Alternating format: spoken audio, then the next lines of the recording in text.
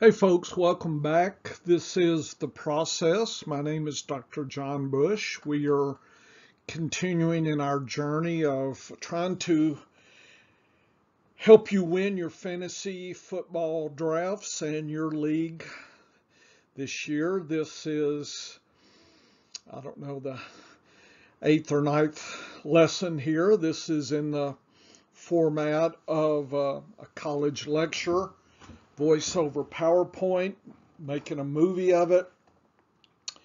I finished last time kind of talking about data coherence and set the set the table for uh, principal component analysis. Okay, I decided I thought this was the time to emphasize reference class forecasting as part of my methodology uh, that I try to use in my uh, data journey every off season here.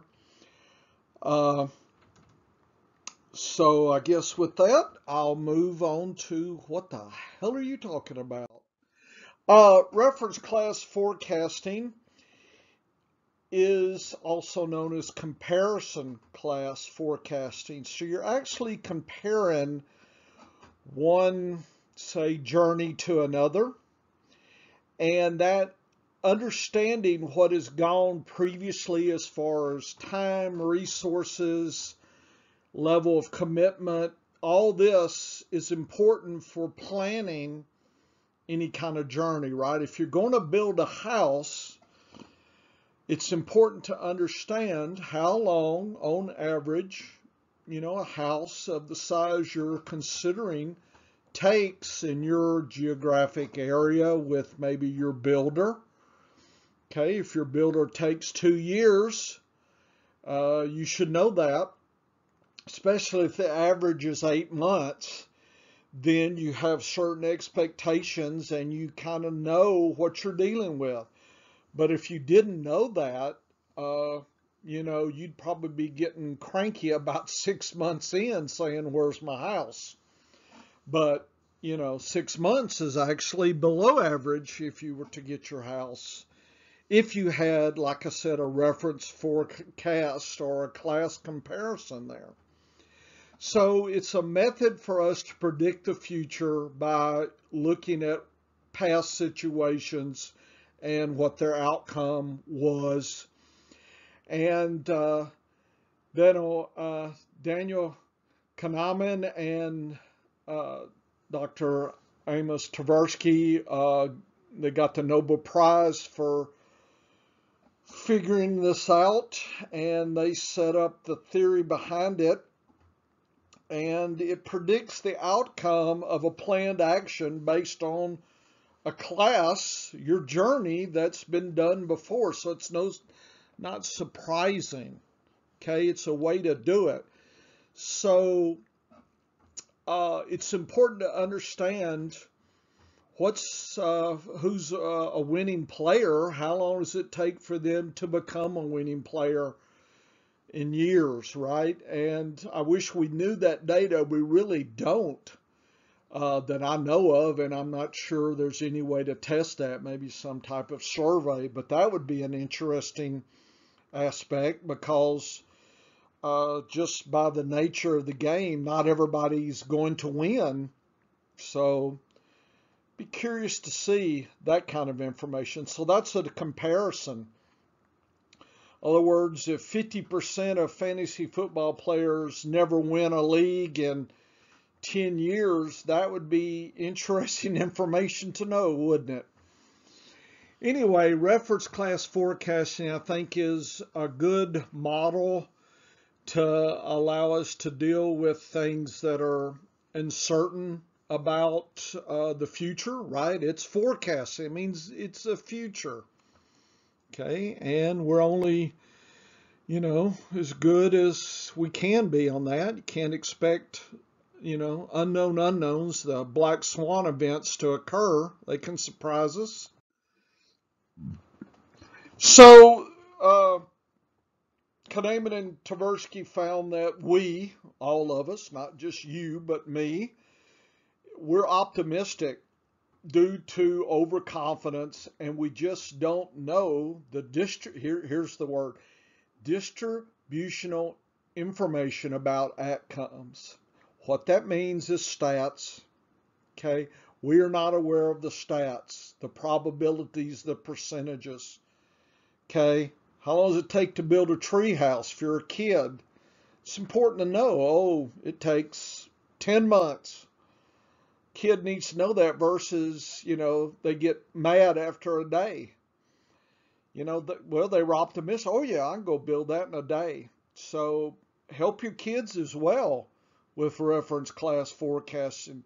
If they said, Daddy, I'm going to be a whatever, well, how long does it take? What's the what's the uh, effort required? The resources? We should all impart that on those that we care about to try to help them define their expectations, I guess is, is kind of on the human side of this.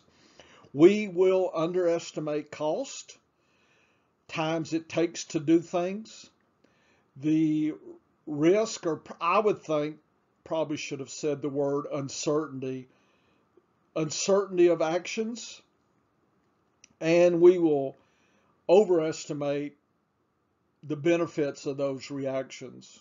Okay.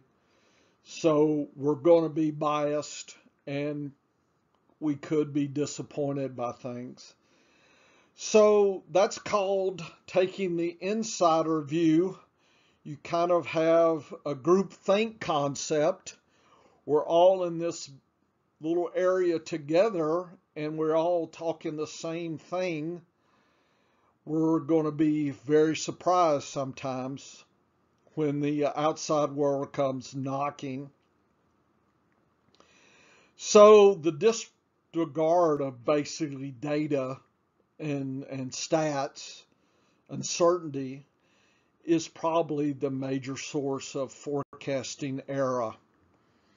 Okay, so you need to write that down and put it up on your mirror every day while you're thinking about fantasy football drafts.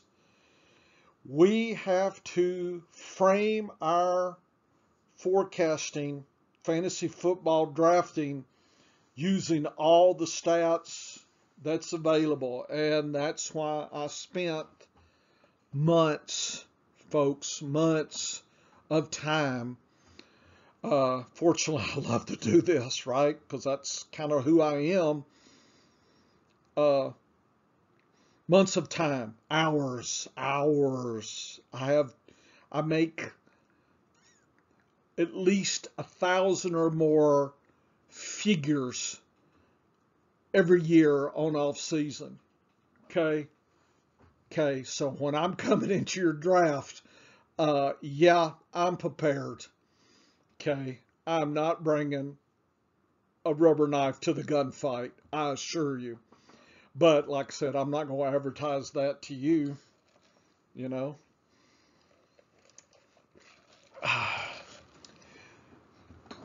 So, uh, we have to try to make effort to do that. So I advise you to continue listening to my lessons uh, that's why I put them down now. You can re-listen to them.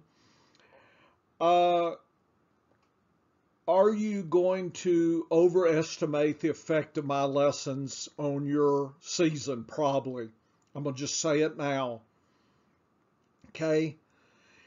It took me a while to get the swing of thing. We're talking years. Okay. So just wanted to be straight up. So you're saying, well, why listen then? Well, you either try to get better and move forward or you don't. Okay. So I advise you, uh, it's more fun when you win. So it's worth the effort, in my opinion. So taking an outside view is what stats allows us to do. Understanding things like principal components will give us that outside view. Okay. And so it's a way that we will, and I've used in science as well, right? How long does it take to find a gene that causes a disease. Uh, it's changed. Back in the 1970s and 80s, the answer to that question would have been years. Now with bioinformatics, it's it's less than years, maybe months, maybe weeks even. Okay. Imagine COVID back in 1960. We did we didn't have a lot of this information.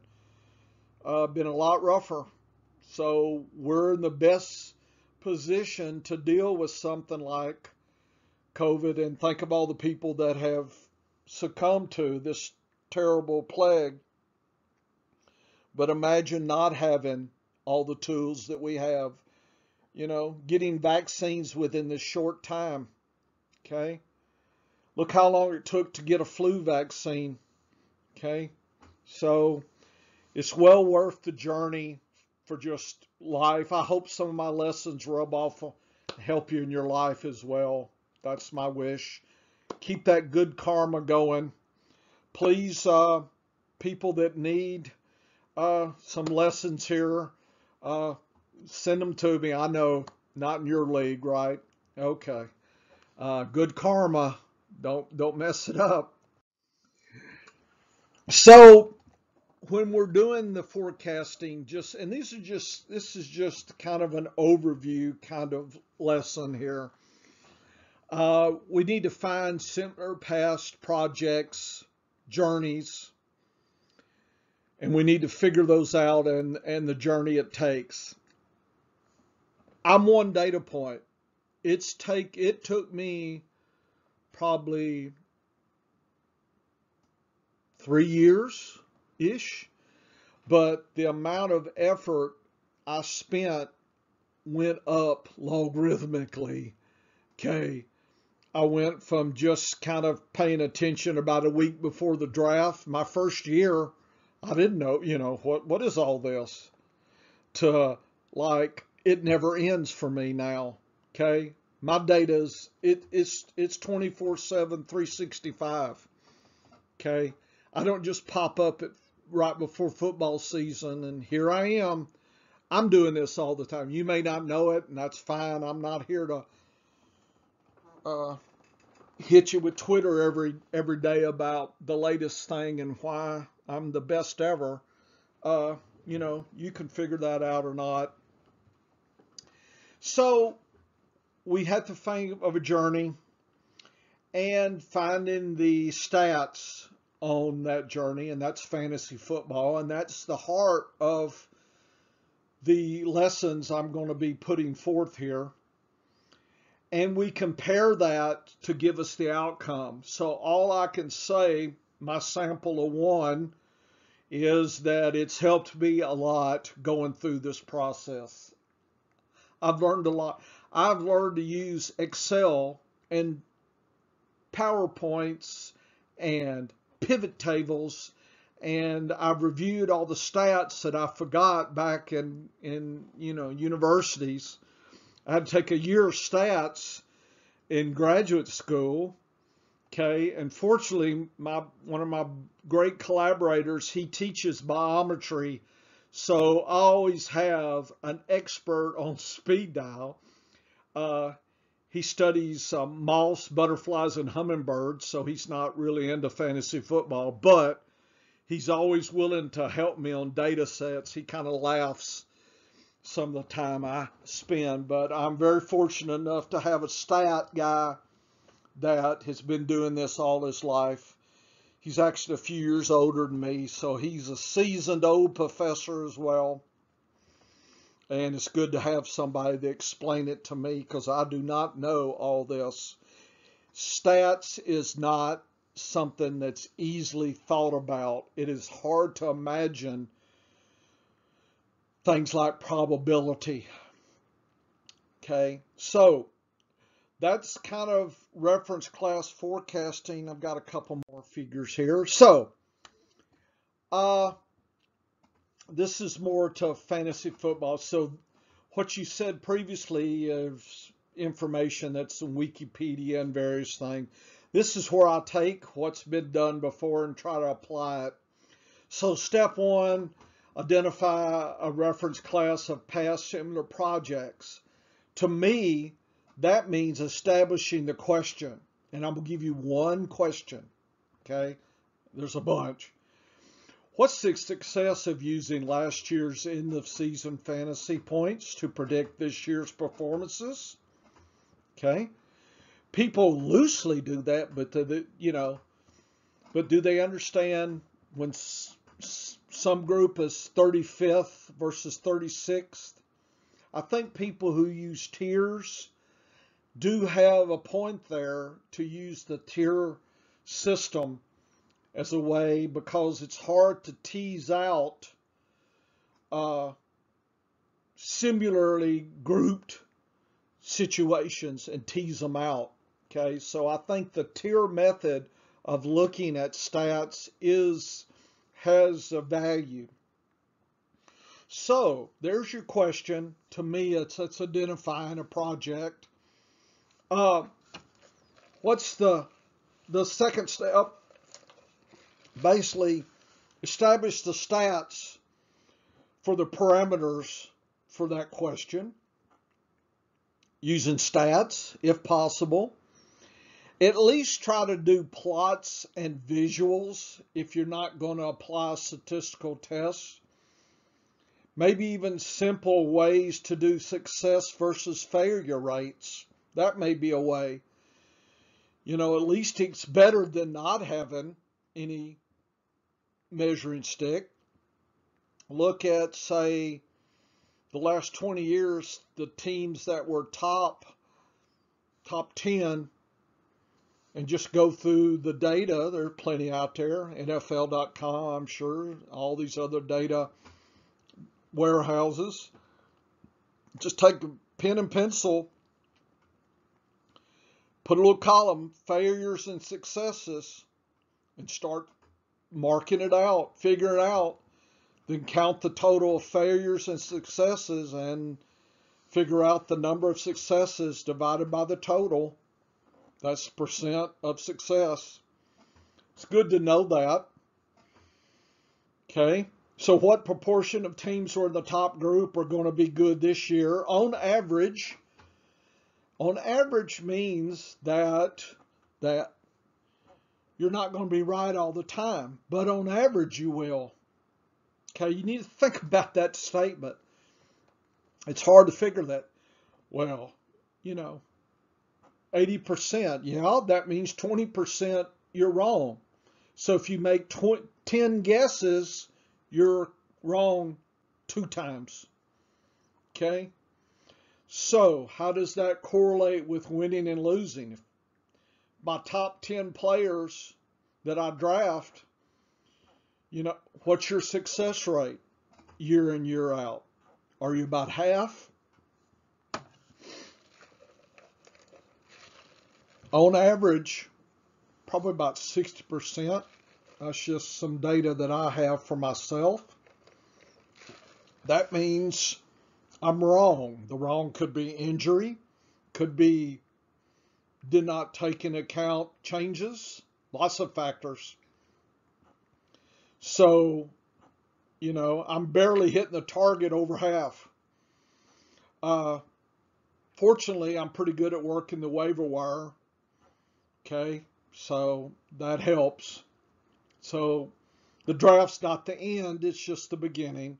But I think about 50%, 60% of the show is your draft.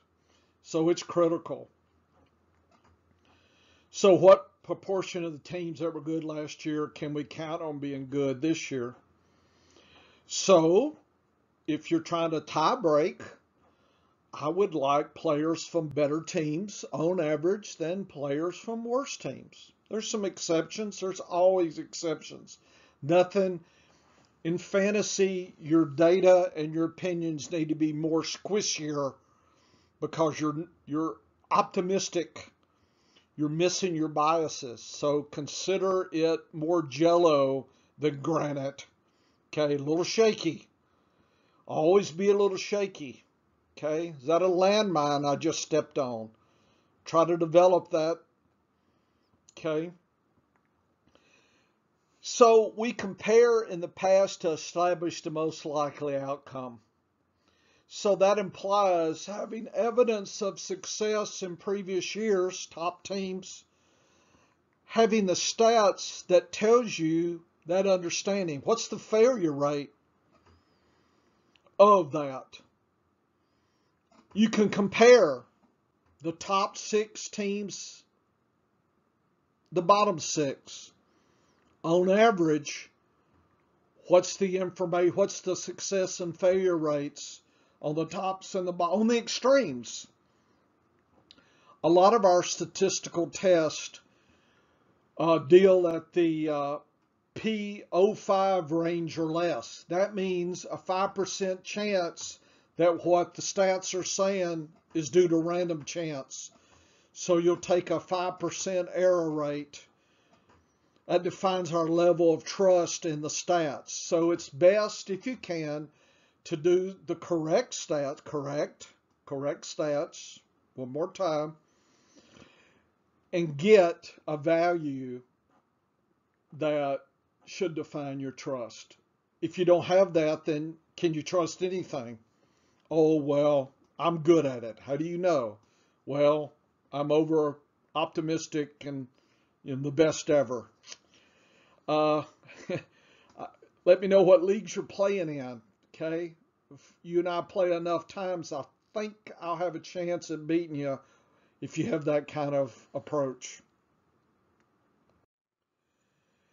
Uh, here's a statement. Statistical algorithms beat subjective judgments.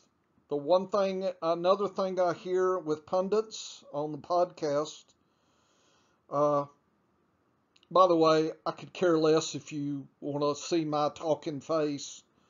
Okay, so I don't, it's not relevant to the data. Okay, but I'm an old guy. Okay, so I got a, I got a beard. Yeah, old gray-haired old old fool professor. Crazy professor, that's me. Crazy Dr. Bush. Statistical algorithms beat subjective judgments.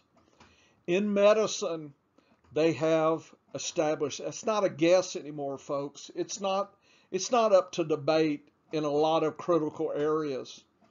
Okay? Medicine was so